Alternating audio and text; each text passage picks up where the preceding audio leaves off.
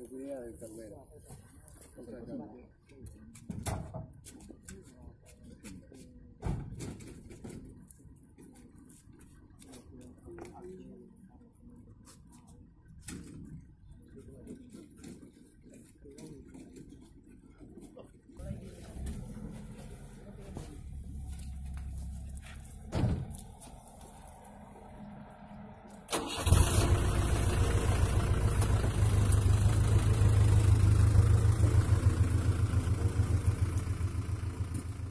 Ondoan daukagun kartzela honetan, bi euskal herritar dauzkate, gaixotasun larri eta sendaezinekin preso mantentzen dituztenak kartzelan eta bueno, en, hori erabakitzea, pertsona hauek horrela egon da e, kartzelan mantentzea, beren bizitzaren kontra doa, beren giza eskubideen kontra doa eta beren osasunaren kontra doa.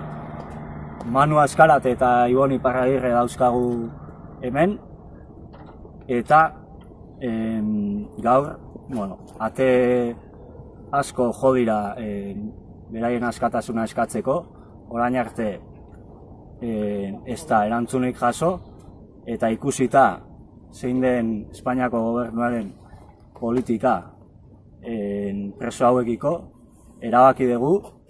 Zenidekin batera medikuekin batera eta euskal gizartearen eta euskal erakundeen ordezkariekin batera beraien bila etortzea.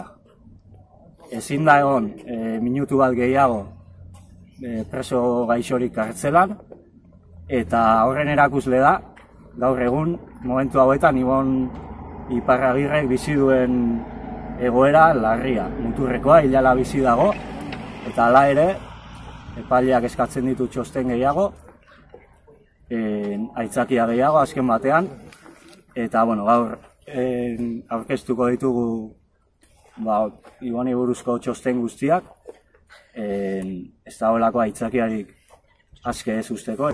Mulan zibik orau, ze nahi daulako Euskal Herriko ospitxalea eru, eta ospitxaline, bueno, ospitxaletik etxezen berdaren gauza, ba etxeak gari eta bueno, lehen bai lehen, etxean edo horreatxek etorri nazi gabuna, ia dal martea lehen eta lehen bai lehen bai lehen. Eta eta gaur egunen ba oso oso bajo da bere defensak eta ez di. Buruko burmuinaren dakarren mantxa edo korbana be, oso galduko dauke, bitxi ikusten da, eta lantzimei bizkikun etxunak kontan, eta ez da, hartzen alezitik, ez da, berak eskubidiratak itxin dauteko. Ze horako egoeran da, pertsoni hartzen alezitik, tortura dutze da.